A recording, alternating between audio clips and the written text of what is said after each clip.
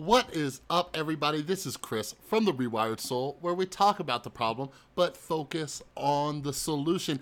And I just found out, sadly, that Demi Lovato relapsed.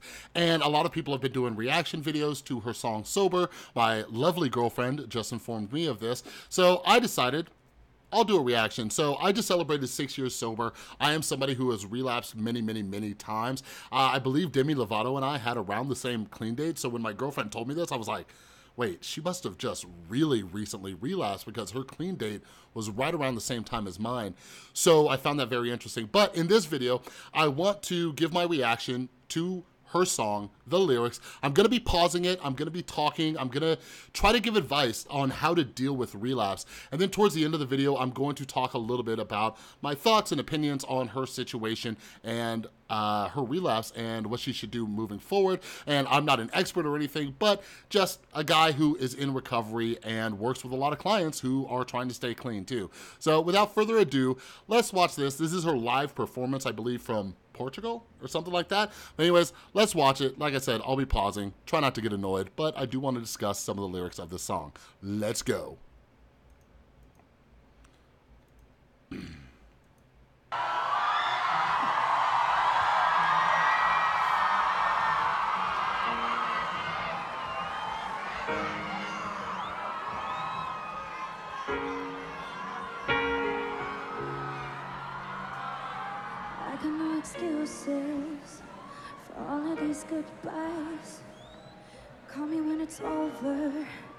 I'm dying inside. Wake me when the shakes are gone and the cold sweats disappear. Call me when it's over and myself has reappeared. I don't know, I don't know, I don't know, I don't know why. I do it every, every, every time. It's only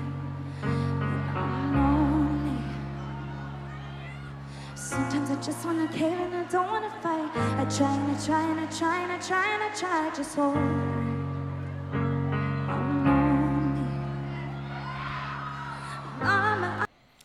All right, so the the first little section right there, like she's talking about the withdrawals, right? Like the shaking and the cold sweats and everything like that. I'm not sure what substances she relapsed on. I think one of her substances of choice was alcohol. Yeah, yeah, it was definitely alcohol. I did a video that I'm gonna link up in the description on her uh, her documentary that she did on YouTube. It's phenomenal. I highly suggest you uh, check it out.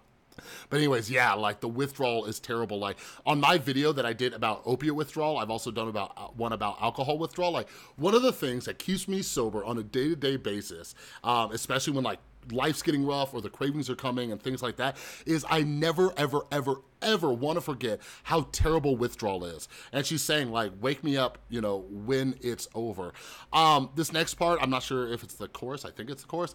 And she's saying that she tries and tries and, you know, she's done this over and over and over again. And she says it only happens when she's lonely. And my best suggestion to anybody out there who is struggling to stay clean or you're in early recovery, right?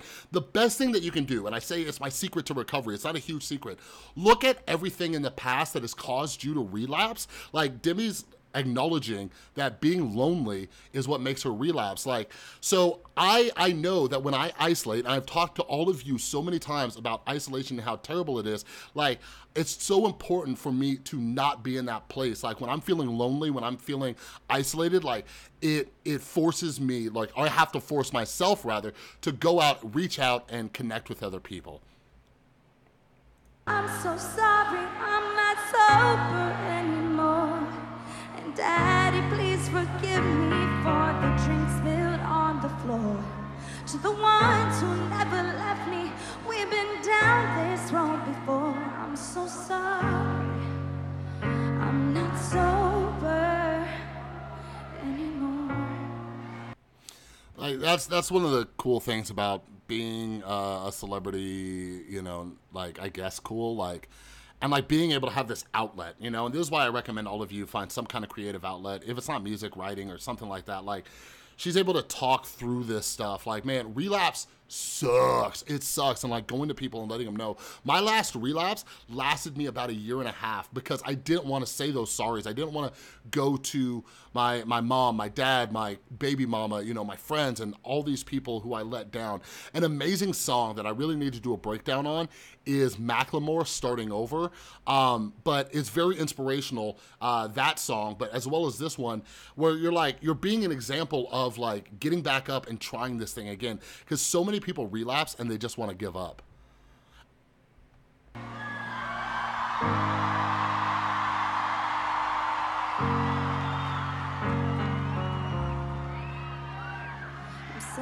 Future love for the man that left my bed, for making love the way I say for you inside my head. And I'm sorry for the fans I lost who watched me fall again.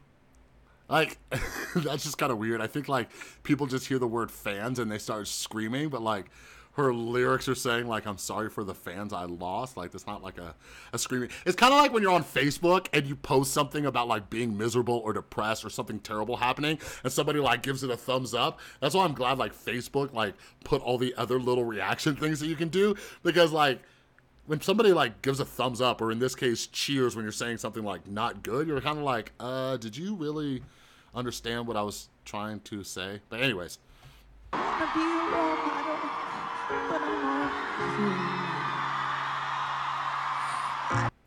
so yeah but anyways um you know breaking that down like she's talk she talks first about the people who have never left her side and stuck by her. Like so this last weekend i just got to see one of my best friends in southern california. She came with me my son my girlfriend to corgi beach day. And i, I have uh, a bunch not a bunch. I have a you know a small handful of friends who stuck by me through the relapses and stuck by me through my recovery too and they never left my side. And some people are gonna leave you know? Like all of you and this is something i say all the time like all of you right now like you're meeting the best version of me. You're meeting uh, me right? You love me. I'm amazing. That's a joke. Calm down. But there's a lot of people out there who still think i'm a jerk for the things that i did before you know? But there are people who stuck with me through all of this. Um, but yeah, there are people who are going to leave, and that's you know that's the thing. Like every day, I always say this to people: every day you got to wake up and say, "What's your motivation for staying clean?" And some days you don't want to stay clean for yourself, but some days you got to stay clean for other people. Like you don't want to lose those people, you don't want to hurt those people, you don't want to harm those people. You know what I mean? Um, and that's something that helps keep me clean today. But anyways, um, I'm gonna touch some more on people sticking by you towards the end. I don't know, I don't know, I don't know why. I do it every, every, every time. It's only I'm lonely. Sometimes I just wanna cave and I don't wanna fight. I try and I try and I try and I try and I try. Just hold me.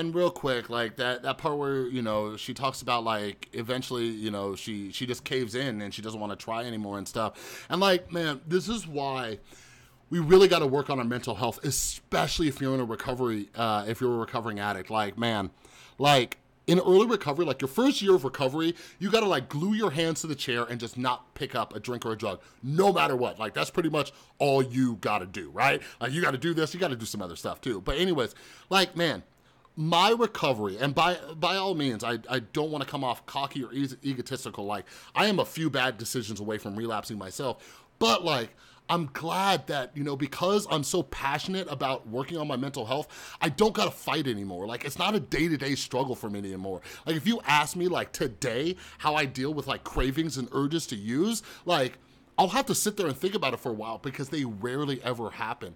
And like it sucks because Demi, you know, she's a celebrity. She is constantly being pounded with stress. You know what I'm saying? And um, she also struggled with some mental illnesses her, herself. And like these are all very, very difficult, and it makes it ten times harder when you're a celebrity. You know, but man, like she needs that support group and i hope she's still working some type of program um, i could do a whole video about the lifestyle and things and Demi Lovato specifically. Like I've seen just how she lives her life in sobriety based on the documentary I watched, and I'm like, man, that's risky, but you know, I've seen people do it before. But I do think there are some things in her lifestyle that she chooses to do that have put her at a higher risk. To the ones who never left me, we've been down this road before. I'm so sorry. I'm not sober anymore.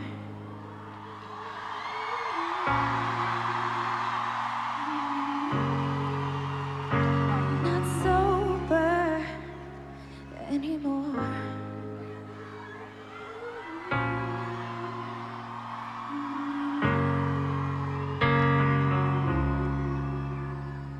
I'm sorry that I'm here again. I promise I could help. It wasn't my intention. I'm sorry to myself.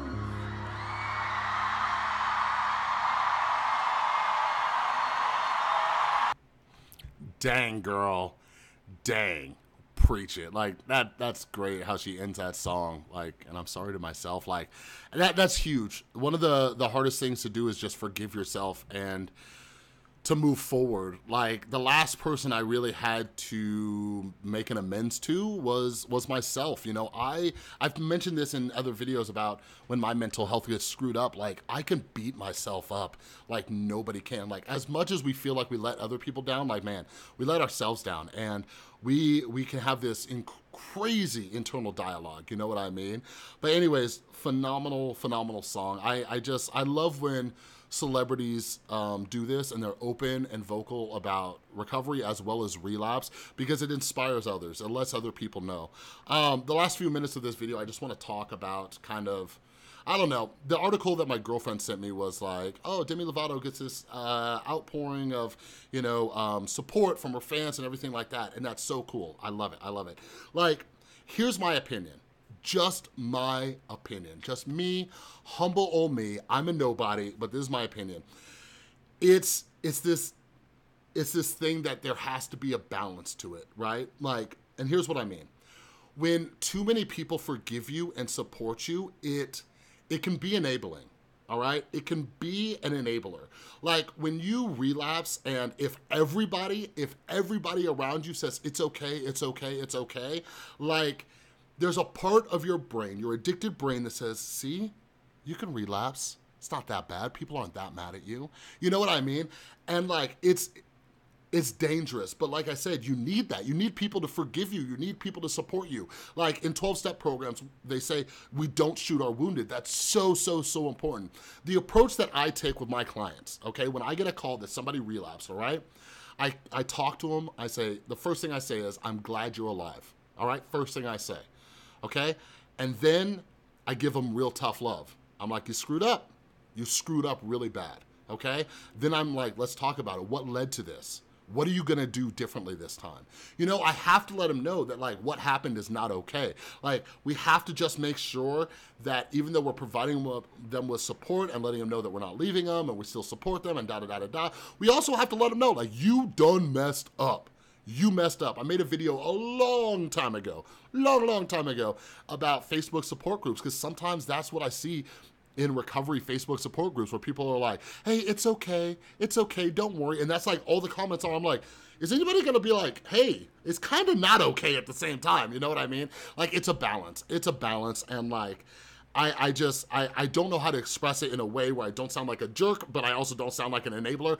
But I hope it makes sense and I hope it comes with a balance. But here's the thing. This is why I tell people to. Like, Demi Lovato knows how to stay sober. She knows how to. If she can go back and do what she did, like, she knows what works, okay? So if you're out there and you had some sobriety, a decent length of sobriety. I don't care whatever decent length of sobriety means to you. I don't care if it's a month, two months, three months, a year, six years, whatever it is. Like look back at it and say, how did I do it the first time? Okay, well, I know what keeps me sober for this long.